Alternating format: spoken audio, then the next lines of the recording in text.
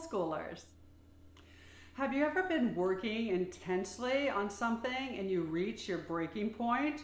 You feel like your head's going to explode or you're in total overwhelm. That's a good thing gone too far.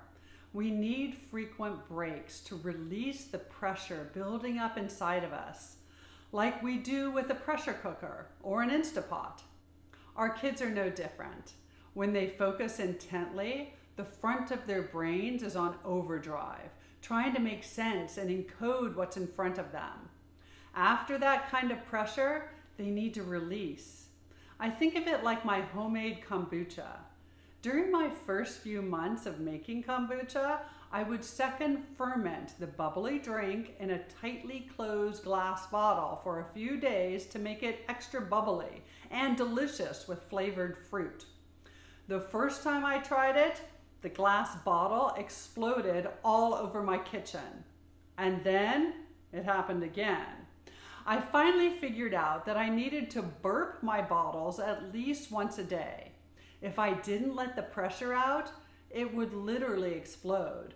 Our kids might be a little bit like that. They need to release the intensity of focus, and that's done through a brain break. A brain break is a 5 to 15 minute break to replenish the resources we've expended while we've been focusing. I've talked with you recently about the struggle phase of learning.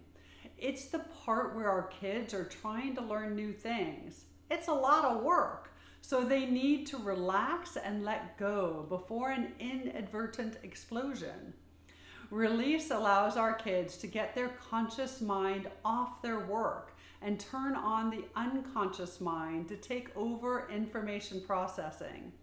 The brain likes patterns and it often is very happy to sort and analyze behind the scenes while our kids' brains are doing something else. Help your child learn to watch for signals that a brain break is needed. Kids sometimes get antsy or fidgety. Brains start to swim or ache or eyes start to cloud over. Help kids recognize these physical and mental signals and catch them before they meander on.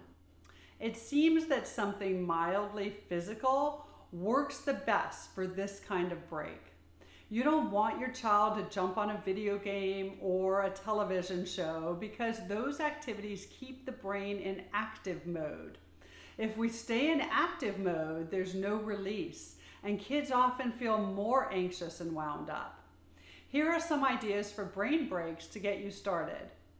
Drawing or doodling playing a musical instrument if you have some proficiency already. You don't want your brain actively involved. Going for a walk or kicking around a soccer ball. Taking a shower or swimming or a stretch. Building something with Lego or other modeling. A brain break isn't meant to be exhausting in any way, but instead it's meant to replenish those spent resources. Happy Boldschooling!